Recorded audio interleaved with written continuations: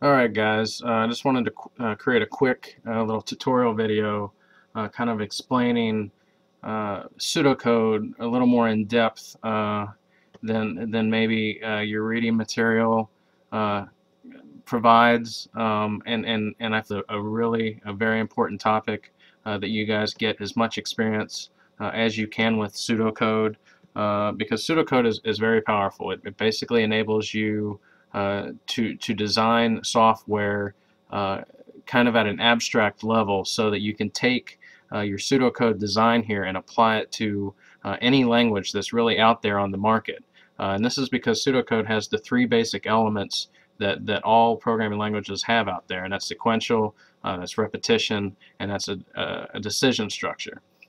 so I thought it would be a, a really good idea to go through uh, a student uh, that we have in class. His name's Aaron Webb, and he uh, he posted a, a really good uh, peanut butter and jelly uh, kind of pseudocode example uh, using some basic commands and using some some pseudocode commands, and that's fine if you know you know the basic language.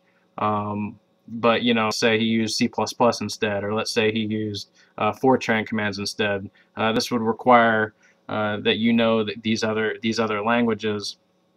And you know in order to avoid any kind of confusion I basically wanted to take that example and convert it directly to a pseudocode only uh, example. And all of these pseudocode uh, commands that we're going to go over here are all mentioned in your reading. Um, and you know I, I really wish uh, there, there could be like a pseudocode simulator uh, pseudocode uh, simulating a compiler that would take your that would take your kind of pseudocode and and try to compile it like like we do with real code right? Any any program you write in basic and C++ and Fortran whatever it is uh, Java uh, they all need to go through a compiler. And these compilers look for uh, very specific keywords being used very specific ways. Uh, so that's why I keep harping in all in all of these discussion boards uh, you know there's a couple of bugs there's a couple of things that that aren't exactly right uh, and it's because I want I want to get through to you guys that when you develop software you have to develop it uh, with an eye for detail. Every every command even even these pseudocode commands I'm, I'm, I'm gonna be your pseudocode compiler. Uh, so when I look at these commands I need everything to be uh, to be correct in order to get you guys kind of used to the compiling environment I need all of these, uh, I need all of the stuff that I'm going to show you uh, needs to be in your pseudocode uh, and it basically needs to be done uh, exactly as, as your book kind of describes uh, the, the pseudocode, okay? So let's just kind of go over uh, Aaron's little PB&J algorithm that, that I've converted to, to pseudocode and I want you guys to get very familiar with the pseudocode here. Okay, so the first thing you're going to notice is that every pseudocode uh, example, every pseudocode, uh, what we're going to call pseudocode program, has, and, and every program in the real world has what's called a main module. Okay, so anytime you guys um, uh, post a pseudocode uh, example, I need you guys to make sure that uh, the main module is the first thing I see. Okay, because that's in in the real world, uh, that's the way it works also. Um, so make sure you include a main module, and in it, with every module, you need to outline, okay, where where does the end of this main module end? And that's where this um, this what I what I call an end tag, uh, the the end pseudocode tag comes in handy, and you basically just throw in a word called end, and you state what what exactly are you ending here. And in this case, uh, we're ending our uh, main module, right? Um, and, and you basically want to do this for all modules. So for example, there's a make PB and make PB module for make peanut butter, you know, and, and jelly sandwich example. Uh, make PB module, and again, at the end of this module, I put end make PB module. Okay, so uh, for all these examples, make sure that you guys uh, let me know which uh, which modules you're talking about, and make sure you include uh, this end this end tag for each of the modules. Um, I'm, I'm, not seeing that uh, in quite a few of these examples, and that's very important. Okay, second thing is uh, the main module, for now, um, the main module needs to declare basically uh, all all global variables. Okay, so what what are global variables? Uh, these these are basically uh, your input and output data types that the program is going to use for values, right? These are these are your input and output data types that that's what makes this program useful is that you don't have these these hard-coded numbers in the program. You're actually able to uh, take input from a user, store it into a data type such as PB choice here, uh, such as the number of sandwiches that you want to you want to create, such as do you want to add jelly to the sandwich. All all of these are are inputs. And what what this enables you to do is to declare these data type variables so that the program can use them to store values okay? And in order to do this you use this declare keyword okay? This is a very specific pseudocode uh, pseudocode command called declare. So anytime you guys want uh, need to declare data types uh, make sure you use this de declare keyword. So once you use declare you give it a, a data type name. You give the data type a name uh, make sure it's a very intuitive name. Don't give me X, Y, Z, uh, P, Q, R.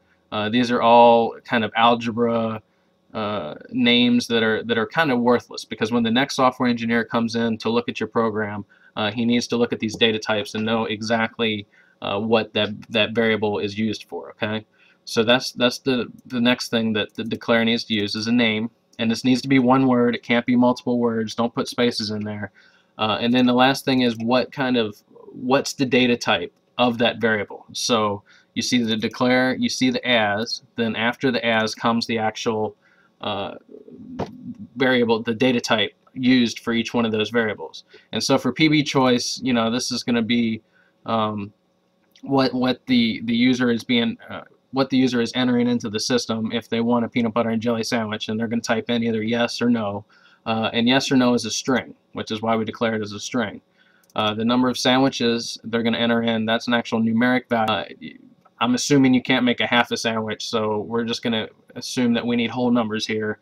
Uh, and because of that, we're, declare, we're going to declare that as an integer uh, or a real. I think your, your book uses the word real, which is fine. So integer or real is fine there.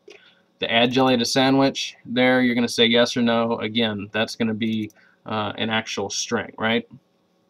So anytime you declare variables, make sure um, it's of this format using good uh, variable names. Okay, uh, or your your pseudocode compiler, aka me, is gonna is gonna complain. Which compilers do complain. Trust me, compilers like to complain a lot. So I figure uh, if you get used to me complaining, then then you'll just translate it to uh, the real world when you actually try to implement a program, uh, that same compiler is going to complain about the same uh, the same things. Okay. Okay. The next uh, interesting thing that we want to look at look at here. okay. Let, let, let, let's take a step back. Okay. So computers are sequential. Okay. Because computers are sequential, you need to realize that computers start at the main module once they get into the main module, they're going to execute it from the top to the bottom. Okay, so it's going to it's going to start on this line. It's going to declare that variable. Go to the next line. It's going to declare that variable in memory. Go to this line. It's going to declare that variable in memory, and then we're going to get to this line. Right. This is what's called an iterative uh, loop control structure. Okay, and this is kind of a special one. This is a uh, what's called a do uh, while loop. And you'll see in a second while I don't put while at the top um, because you can reverse this. You could have while up here uh, and and the end one here, but instead I'm putting do up here and while down here.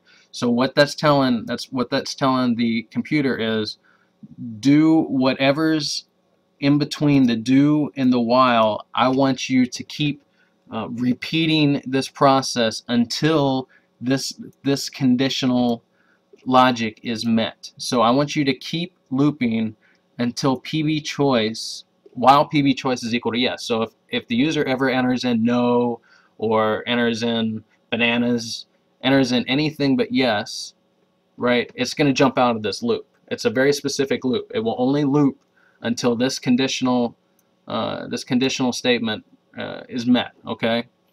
So this is your, your iterative control structure. Okay. Um, so let's go let's go inside the do loop. Remember we're going line by line, right? Line by line, we've hit the do loop. So it's going to go into the do loop, right? Because the first the first condition is just automatically true. Okay? We go into the do loop and I, I noticed that a lot of you guys like to use the keyword uh, write uh, whenever you're you're trying to display things and I, and I think your book uh, might do that also uh, but I would caution against using the word write just because write can also mean write to disk, right? Uh, right, right? so when you're using the word, try to avoid using the word write unless you're actually uh, writing to disk, for example. If you're if you're displaying a message, use the keyword uh, display. This is just going to make it a lot easier on the next software engineer that's that's looking at your code here.